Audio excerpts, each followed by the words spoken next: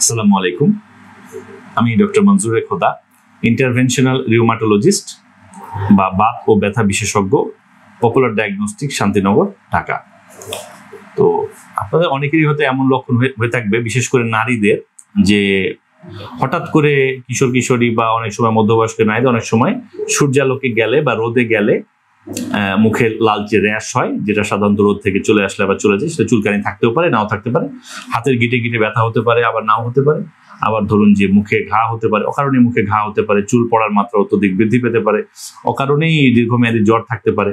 আবার ধরুন যে যদি গর্ভ ধারণ করেন, তো সেক্ষেত্রে দুই তিনটা গর্ভপাত হয়ে যেতে পারে, কোনো ধরনের ঔষধ খাওয়া বা কোনো ধরনের রোগ গাইনিকোলজিক্যাল বা আপনার প্রসূতিবিদ্যার কোনো সমস্যা না থাকার পরও আপনার অকারণেই অ্যাবর্শন হয়ে যেতে পারে।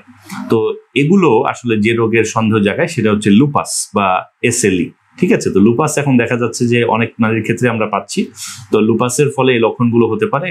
তো এই লক্ষণগুলো হলে আপনারা সাধারণত একজন রিউমাটোলজিস্ট বা বাত বিশেষজ্ঞের পরামর্শ দেবেন যে লুপাস এটা জানা যায় এখন অনেক আগে থেকে। এবং লুপাস কেন গুরুত্বপূর্ণ? শুধুমাত্র যেটা বাতের ব্যথা তৈরি করে বা অ্যাবর্শন করিয়ে দেয় তা না, এটা কিন্তু দীর্ঘমেয়াদী কিডনি রোগ তৈরি করতে পারে।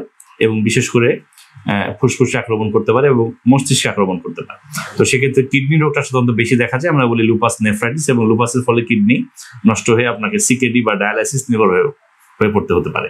তো সেক্ষেত্রে আমরা লুপাস সম্পর্কে সচেতন থাকতে হবে এবং এখন আধুনিক চিকিৎসা ব্যবস্থায় লুপাসের অ্যান্টিবডি চিকিৎসা আমরা বাংলাদেশেই করছি সফলভাবে এবং সাথে সাথে স্টেম সেল চিকিৎসাও সম্ভব হচ্ছে। ধন্যবাদ।